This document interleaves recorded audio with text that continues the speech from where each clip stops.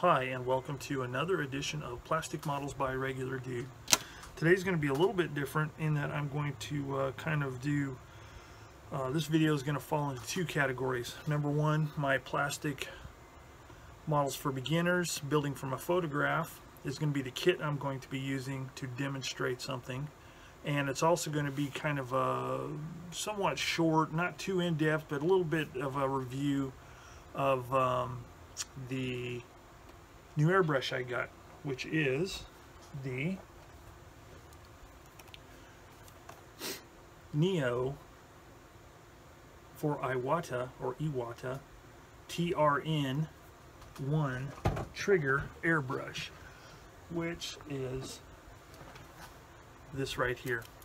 So I'm going to be killing two stones with one bird, so to speak. Um, this will fall under the category, like I said, of the beginner series, and I'm going to be using the M10 that I'm using to build from my photograph.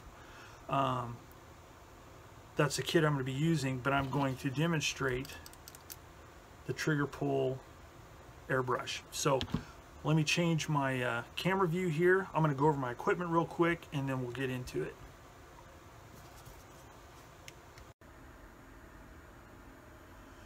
All right, first things first, let me refresh you, um, refresh your memory, or for some of you, this may be totally new news.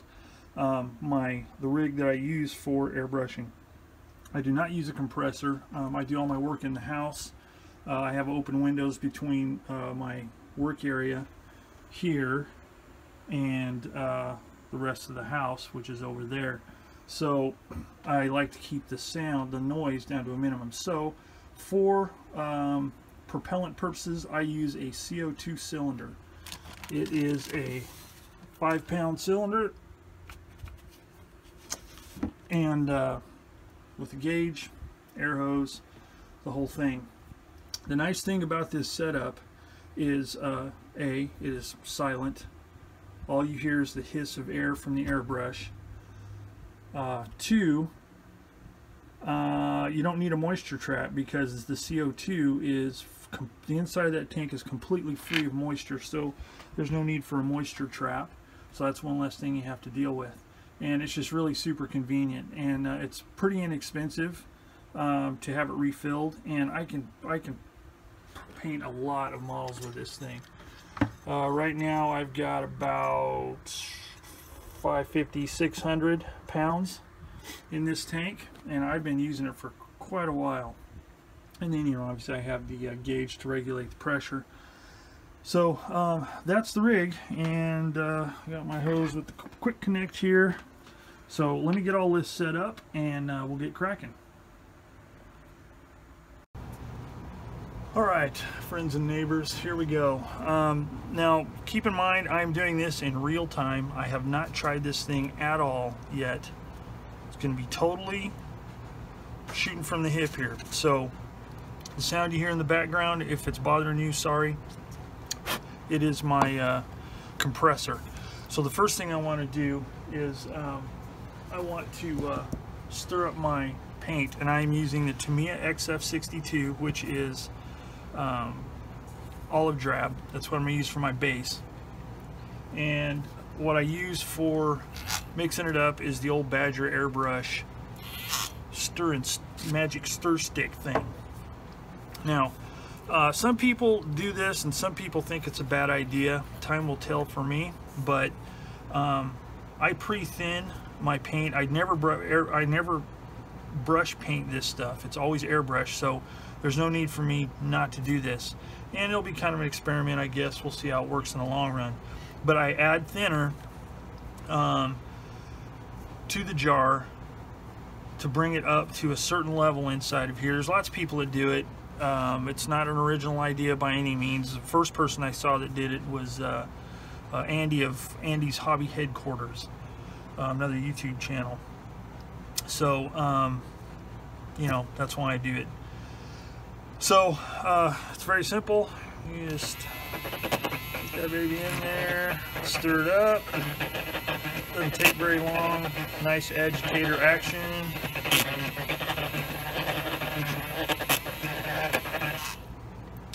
And should be good to go. Just run that in some water. Voila, it's clean. And the thinner I use for this is the just the regular old, you know, uh, Tamiya X20 thinner. That's why I use to thin the paint. Uh, then I take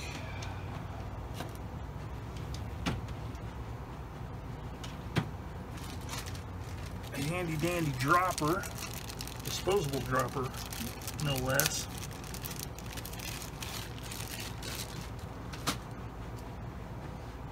Again, I'm not showing probably most of you people that this isn't anything spectacular or, you know, earth-shattering. But, you know, I'm just, I'm doing it because there are people that may not have done this stuff. First thing I want to do, though, since this is a new airbrush, is I want to run some X20 through this thing just to make sure it's all clear. I don't think there's any reason why it shouldn't be, but I'm going to do it nevertheless. Just a few drops of X20 one of the things that uh, these little eyedropper bottles are really good for is putting thinners and stuff in. Pretty awesome. So first of all, you can see that pulling that, nothing's coming out. That gets your air going. Once you, and it's like a two-stage trigger on a rifle, if you're familiar with that. You pull it back, gets to that point. Once you pull it farther than that stop point, then something's going to come out. In the case of a two-stage rifle trigger, that means a bullet's going to come out. In the case of this, it's going to be thinner. So I'm running this about 15 psi, so we'll see how it works. So I'm to just get some paint here. Let's put about that much in there. That's a lot, but I got a lot to paint here. Okay, so I'm gonna set that over there. All right, oh, cripes.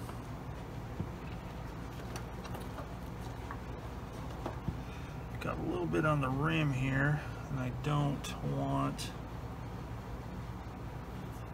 to get it on the lid unless absolutely necessary. And I like the fact that it does come with a lid. It's kind of cool. So hopefully you saw all that. Yeah, I'm sure you did. So first thing I'm going to do is I'm going to put the lid on the paint so I don't knock it over. Alright, so first things first,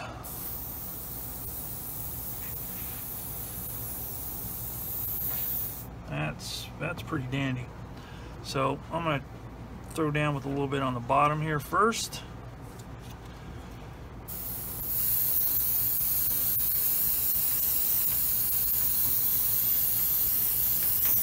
Now some of you may be saying, why in tarnation would you get an airbrush like that? Well, I explained it in my initial unboxing of this airbrush.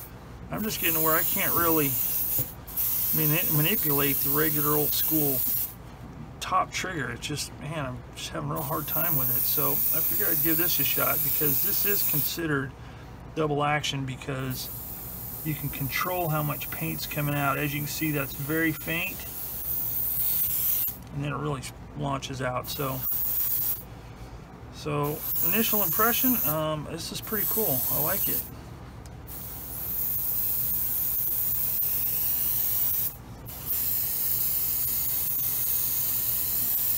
The reason I'm doing this is um, one of my viewers asked if I would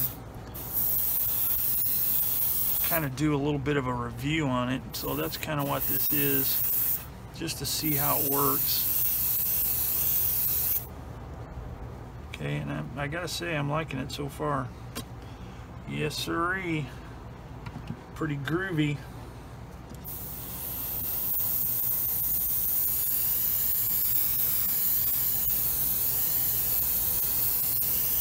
Now, eventually, I'll be able to test it out on some aircraft and see how how it does spraying finer stuff like camouflage and all that.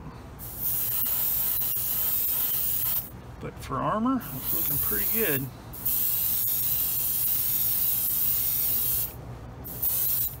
Yeah, I like this. I like it, peoples.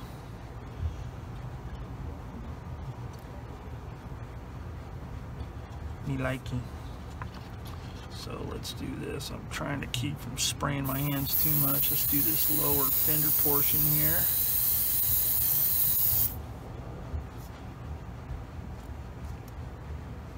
Pretty diggity there, folks. So, my initial thoughts, yeah, I like it.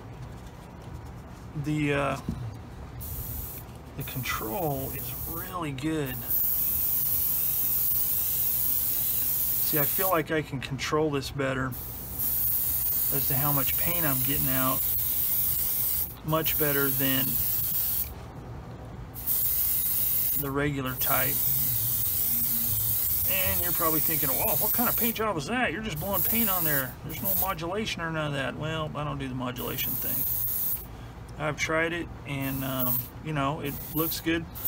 And a lot of people get really good results with it. I just, uh, I got my own way of doing things. I don't do the I don't do the modulation thing and I'm not saying that there's anything wrong with it. It's just not my style. I've tried it and it's just, you know, I may try it again in the future, but I just I control how my paint turns out with the uh, weathering process later. Again, that's just my method. And again, it's not in, you know, 10 by 10 rule. 10 people do 10 different things. So let's take a look inside the cup, see how much paint we've used here. Yeah, getting, getting close to being out. So it blows a lot of paint, but that can be controlled. All right, so I'm out there. So let me let me re re refill this thing, and I'll uh, turn this off while I'm doing it, so you don't have to watch.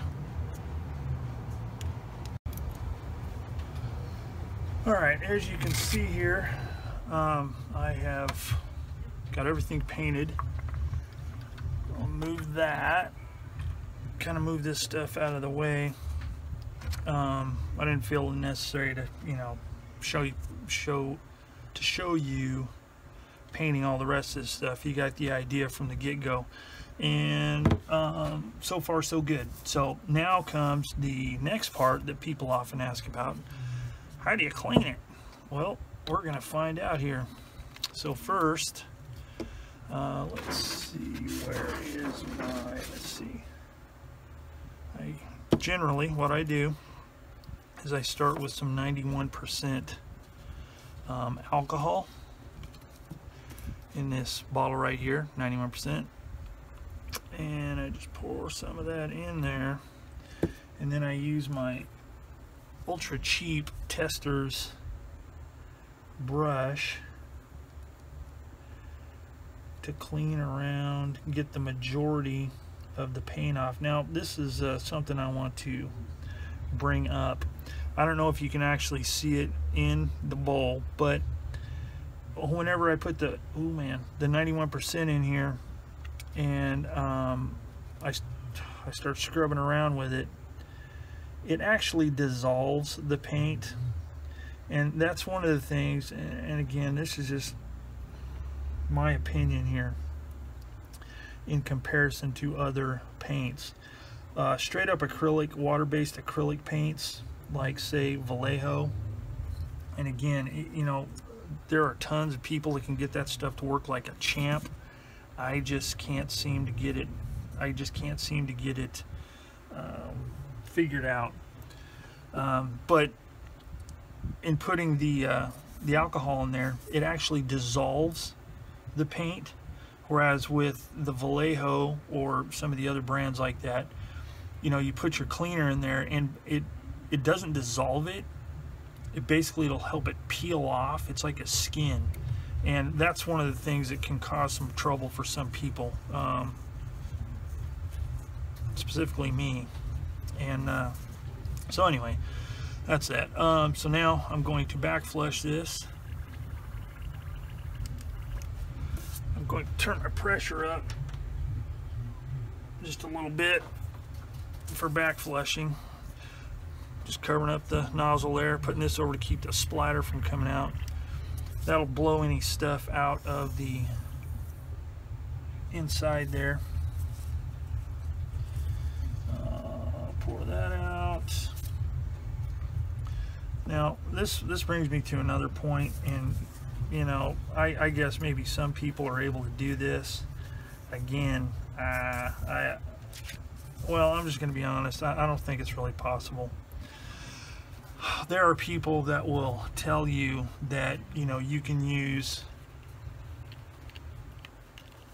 the equivalent of this much cleaner and totally 100% clean an airbrush and I just I, am just I fail to see it. I mean you might get it to where you're blowing clear stuff out of it and maybe in between color changes but to get it clean and then put it aside for a few days or weeks or whatever while you're not using it I, I just I don't I don't see how that's even possible okay? So I'm sure there'll be a lot of disagreement but that one is one that I'm going to kind of you know stick to my guns with and say that I don't really think it is possible to truly clean an airbrush that good with just you know a thimble full for those of you those of you who don't know what a thimble is look it up. But a thimble full of cleaner I just don't see it. Because there's a lot of junk that can get down inside of these things. You know so yeah that's my opinion and I'm sticking to it. And those of you that can do it well yahoo for you because I can't. And uh, I don't want to take a chance on my investment getting credit up potentially clogged and all that stuff so. All right so that's looking pretty pretty clean. Um, do one more back flush especially when you're using stuff like 91% um, alcohol I mean that stuff's cheap for a big giant bottle. I mean I've been using this thing for I don't know how long and I've still got half a bottle left and I'm pretty liberal with it whenever I clean my airbrush. So all right see see still getting stuff out. Still getting stuff out of that uh, the channel where the paint goes through okay so let me kind of wipe the inside of the bowl there cup and let's spray see look at all that beautiful paint. So here's what I'm going to do. Spray, put some more of this in there. And I'm just going to blow the snot out of this baby. Sorry if I'm getting my noggin in the way.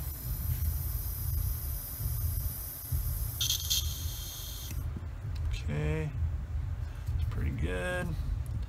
Now let's see what we get when we back flush.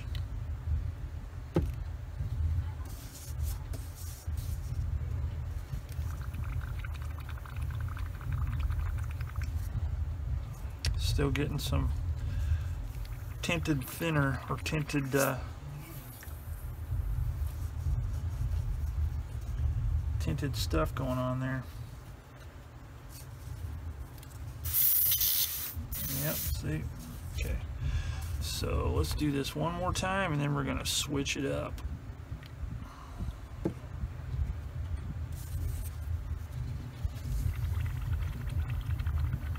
there's some people that'll back flush once, dump it out, spray some stuff through it, and oh, we're clean.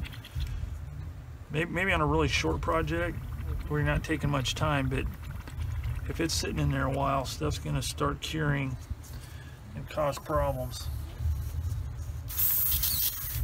Okay, so that's looking a little better. So here's what I'm going to do now. I'm going to switch up to my other stuff, which is lacquer thinner. Yes, lacquer thinner. This stuff's champion for this stuff. And I might add also, I'm not using it right now, but this stuff works really well as well. I, I'm just going to do that next time I use this airbrush.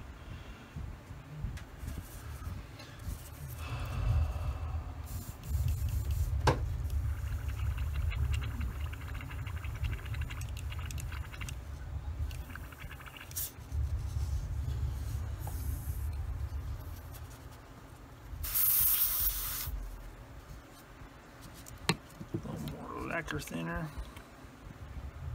See this folks, this is real time. This is what she is what you get. I think what happens sometimes is uh, people will shoot a video and they'll like, oh, let me clean and they'll spray it through a couple of times. Then they'll turn the camera off and then spray, spray, clean, clean, clean, clean, just to cut the, the time down. and I'm not saying that they're doing it, you know, to give a false impression. They're just trying to save some time on the video, but then maybe, you know, forget to say, oh, by the way, I've been cleaning this thing for the last five minutes.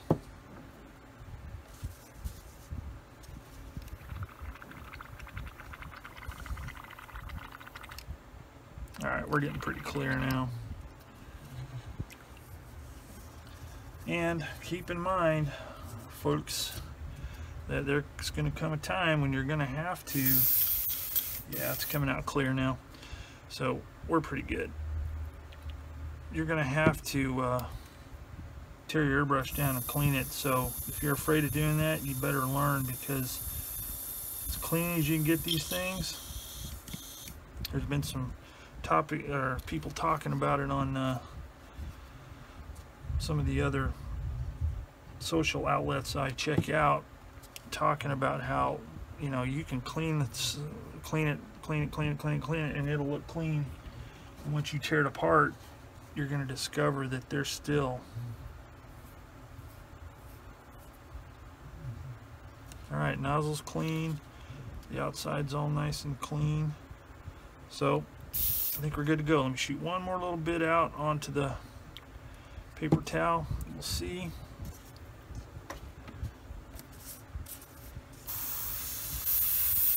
Yeah.